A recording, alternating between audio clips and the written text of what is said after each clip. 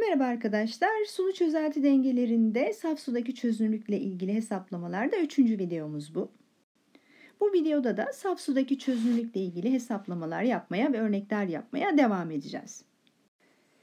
Evet, bu videoda ilk sorumuz arkadaşlar. Bu ve bundan sonraki örnekte sertlik derecesiyle ilgili örnekler çözeceğiz. Bir kere suya sertliğini veren kalsiyum ve magnezyum iyonları. Eyvallah. Sert su dediğimiz kireçli su.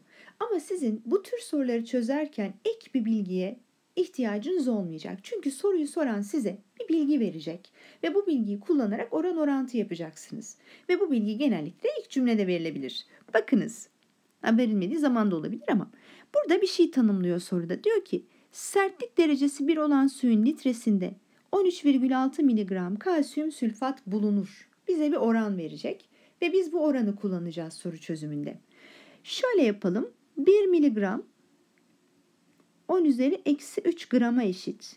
O zaman çözdüğüm şu kütle çünkü mol kütlesi gram ya bizim mole çevirmeye çalışıyorum. 13,6 çarpı 10 üzeri eksi 3 gram demektir. Mole çevireyim biz çünkü hep molar çözünürlük yapıyoruz ya. Bu değeri 136'ya bölerseniz 0,1 çarpı 10 üzeri eksi 3 ya da 1 çarpı 10 üzeri eksi 4 mol bulursunuz. 136'ya böldüğümde. Bilgimiz ne diyor bize? Yazalım. 1 litrede diyor ki bu e, suyun hacmi olarak verilmiş ama bu çözeltiler çok seyreltik olduğu için çözeltinin hacmi suyun hacmine eşit demiştik. 1 litrede 1 çarpı 10 üzeri eksi 4 mol kalsiyum sülfat çözündüğünde ben bu çözeltinin sertliğini 1 kabul ettim diyor. Sen de doymuş çözeltideki sertliği bul diyor. Şimdi doymuş çözeltinin nasıl bulacağım? Önce çözünürlüğünü bulacağım. Çözünürlük bana litrede kaç mol çözündüğünü verecek. Sonra da bu değerle oranlayacağız arkadaşlar. Gelin yapalım. Şimdi kalsiyum sülfat katısı suda kalsiyum artı 2 iyonları ve sülfat iyonları vererek çözünüyor. Bu arada katı suda sudaları yazmadım. Üşendim. Çözünürlük çarpımının değeri kalsiyum iyonları derişimiyle sülfat iyonları derişiminin çarpımına eşit. Molar çözünürlüğünü bulmaya çalışıyorum çünkü doymuş çözeltiye gitmeye çalışıyorum. Molar çözünürlüğüne x mol bölü litre dedim. x ve x çözeltide bulunan iyon derişimleri olduğu. KÇÇ'de yerine koyalım. Bu 2,5 çarpı 10 üzeri eksi 5 verilmiş. Virgülü kaydırıyorum arkadaşlar. 25 çarpı 10 üzeri eksi 6 eşittir dedim. x çarpı x yani x kareye. Buradan x değerini 5 çarpı 10 üzeri eksi 3 mol bölü litre bulduk. Bu bize neyi veriyordu? 1 litrede eğer bu çözelti doymuşsa ki doymuş olmalı dengeden hesapladığımıza göre maksimum 5 çarpı 10 üzeri eksi 3 mol kalsiyum sülfat çözünebileceğini veriyor. Oran yapacağız dedik ya. Bakın verdiği bilgide 1 litrede şu kadar mol varken sertliği 1 demişti. O zaman gelin bunun ne olacağını bulalım. Doymuş çözeltinin 1 litresinde kaç mol vardı? 5 çarpı 10 üzeri eksi 3 mol vardı. Acaba bu durumda sertliği kaç olur diyeceğiz. Litrede 1 10 üzeri eksi 4 mol 1 yapıyorsa litrede 5 10 üzeri eksi 3 mol ne kadar yapar derseniz bakın bu bunun 50 katı. O zaman bu durumda sertliği yani doymuş çözeltinin sertlik derecesi 50 oluyormuş arkadaşlar.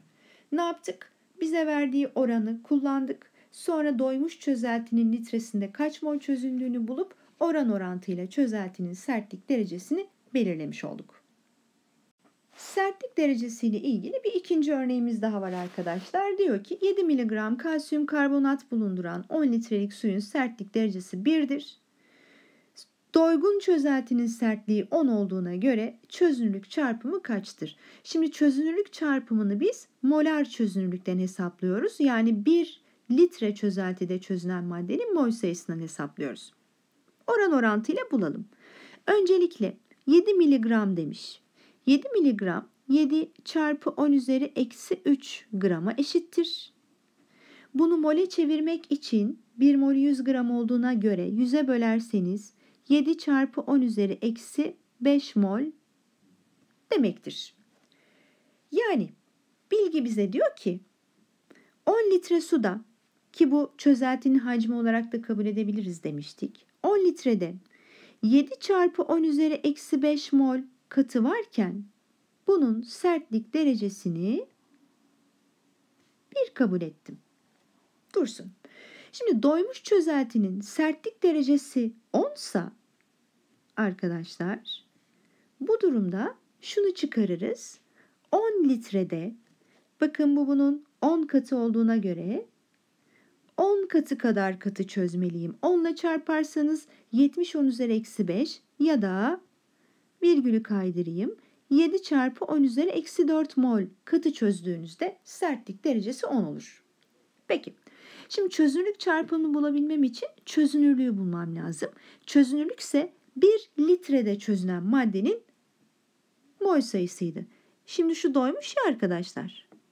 Ama bu 10 litredeki değer. O zaman 1 litrede kaç mol çözündüğünü bulursanız bunu bir daha 10'a böldüğümüzde 7 çarpı 10 üzeri eksi 5 mol en fazla çözünen e, kimdi bu? Kalsiyum karbonat miktarı olur. Yani katının molar çözünürlüğü arkadaşlar 7 çarpı 10 üzeri eksi 5 mol bölü litre oldu. Ne buldum? Baştan bir daha bakacak olursak. Ee, sertlik derecesi 1 olan suyun 10 litresinde şu kadar mol var demişti. Doygun çözeltinin sertliği 10 ise biz 10 litrede kaç mol çözünebileceğini bulduk. Bu doymuş çözeltideki oran. Sonra bunu kullanarak 1 litrede kaç mol çözüneceğini buldum ki bu bana katının molar çözünürlüğünü verdi. E artık elimde molar çözünürlük olduğuna göre KÇÇ değerini belirleyebilirim. Kalsiyum karbonat katısı kalsiyum artı 2 ve karbonat iyonlarını vererek çözünüyor. Yine aşağılarına suda katı falan yazmadım arkadaşlar. E biz bunun çözünürlüğünü zaten sertlik derecesinden 7 çarpı 10 üzeri eksi 5 mol bölü litre olarak bulduk.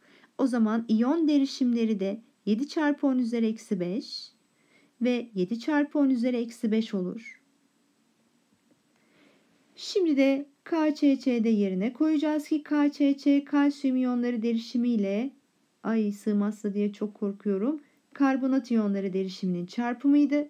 Yani 7 çarpı 10 üzeri eksi 5 çarpı 7 çarpı 10 üzeri eksi 5'ten bunun karesi desem 49 çarpı 10 üzeri eksi 10 bu çözelti e, bu katının çözünürlük çarpımının değeri olacak t derecede.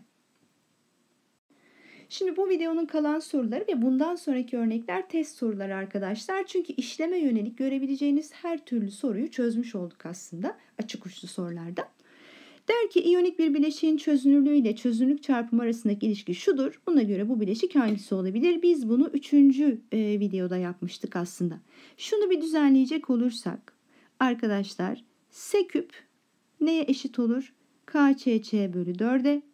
Buradan da KÇÇ değeri 4 S küpe eşit olur.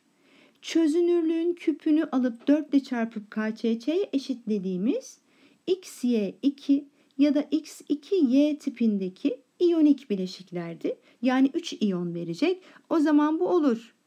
Bakır e, bakır bir sülfür 2 ve 1 olduğu için. Kurşun 2 klorür olur. Yine 3 iyonlu iyonik bir bileşik. Ancak demir 3 hidroksit olmaz. Çünkü bu X e, Y3 yapısında 4 iyonlu bir iyonik bileşiktir. Yani 1 ve 2 bu eşitliği sağlayabilecek iyonik bileşiklerdir. Bir diğer sorumuz. Suda az çözünen iyonik bileşiğin çözünürlük çarpımını hesaplamak istiyoruz.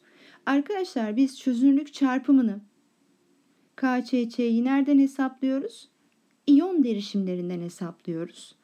En az hangileri bilinmelidir diyor. Bir kere çözeltinin molar derişimi demek aslında çözünen katının molar çözünürlüğü demek.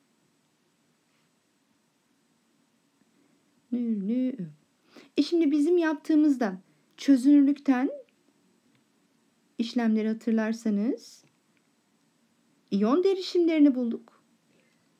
İyon derişimlerinden de KÇÇ'ye geçtik. E, çözünürlük dediğimiz şey katının molar e, derişimi olduğuna göre bir derişimini bileceğim. Yani çözünürlüğü. İyon derişimlerine geçmek için bileşiğin formülüne de ihtiyacım var. Ama nasıl bir bağıntı yazacağıma bağlı. Çözeltinin hacmine ihtiyacım yok. Çünkü bende zaten molar derişim var. O yüzden 1 ve 3 en az bilinmesi gereken niceliklerdir. KÇÇ'yi hesaplayabilmek için. Tekrar söyleyeyim ama bu arada doygun çözeltinin molar derişimi demek molar derişim çözünen katının bölü e, katının molü bölü hacim olduğu için aslında çözünen katının molar çözünürlüğü demektir.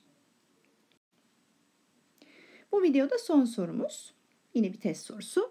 Suda az çözünen gümüş, iki, e, gümüş dikromat katısının suda çözünme denklemi verilmiş. Ve diyor ki katıyla hazırlanan katısıyla dengede sulu çözelti ile ilgili yani denge durumundan bahsediyoruz. Bir kere sistem dengedeyse çözünme ve çökme hızı birbirine eşittir. Bu durumda iyon derişimleri sabit kalır. Çözündüğü kadar çöküyor çünkü. Dengede dipteki katı miktarı sabit kalır. Çözündüğü kadar çöküyor çünkü. Çözünme olayı durmuş mudur? Hayır. Çözünme olayı ve çökme olayı devam ediyor ama eşit hızda olacak şekilde devam ediyor. Şimdi şu dördüncüye geldiğimde arkadaşlar düzensizlik demek taneciklerin serbest hareketinin artması demek. Ve denklemde e, iyonik katıların suda çözünme denkleminde katının iyonlarına ayrışmasından bahsediyoruz. Çözünürlük dengesinde de. E şimdi bu iyonlar suda çözündüklerinde serbest hareketleri artar. O yüzden de iyonik katıların dengesinde ya da çözünürlük dengesinde maksimum düzensizlik eğilimi çözünme lehinedir. Yani iyonlar tarafınadır.